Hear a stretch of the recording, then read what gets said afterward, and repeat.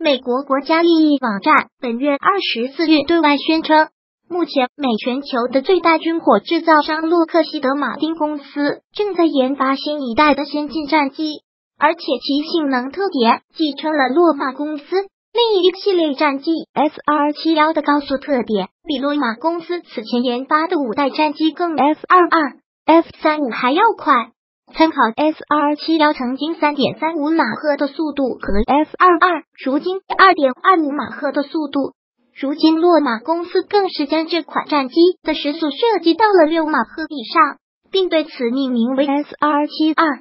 几乎成倍数的提高。相信对于美国的军工业制造能力而言，也是一种考验。当然，在目前中美都已经成功试射高超音速武器。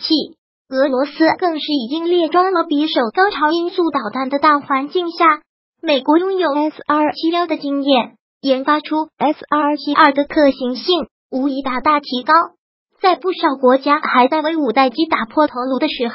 已经研发出五代机的中美俄已经开始对六代机的预研制工作，尤其是美国早已五代机多年，对六代机上的探索也是先人一步。极有可能是第一个研发出六代机的国家。尽管目前各国对于六代机都有不同的标准，但是不可否认的是，六代机的方向终究难逃几个新颖词，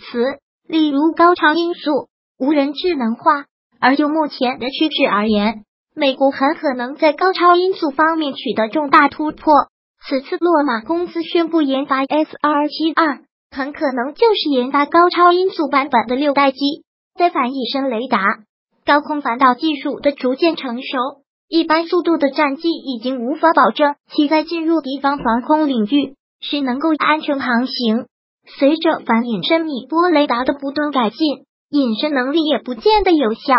在这种情况下，速度的提高就成为了唯一打破瓶颈的方法。要知道，以前的 S 二七幺可是在苏联眼皮子底下晃荡了几十年。即便是雷达检测到了极巨大的热量反射，却也对它无可奈何。如今，美国重试 SR 七幺，并试图研发新型号，说明美国在这方面又有了新的突破，至少在技术上是完全可行的。但是，高超音速战机前景广阔，但是实际上还是具有很多瓶颈需要突破。首先，在发动机上，普通的变循环发动机。带来的动力还无法满足高超音速战机的速度要求，因此需要采用超燃冲压发动机或者旋转爆震发动机来获得更强劲的动力。虽然在当前情况下，中国研制出了歼二十，俄罗斯研制出了苏到五十七，表面上看，中俄的战机似乎已经赶上了美军的步伐，但实际上却还差得很远。军事专家表示。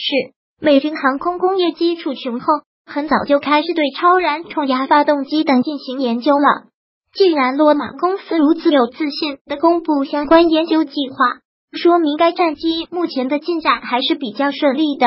美国在此项目上起码领先中俄三十年。如果喜欢本视频，请分享并订阅本频道，别忘了按赞哦。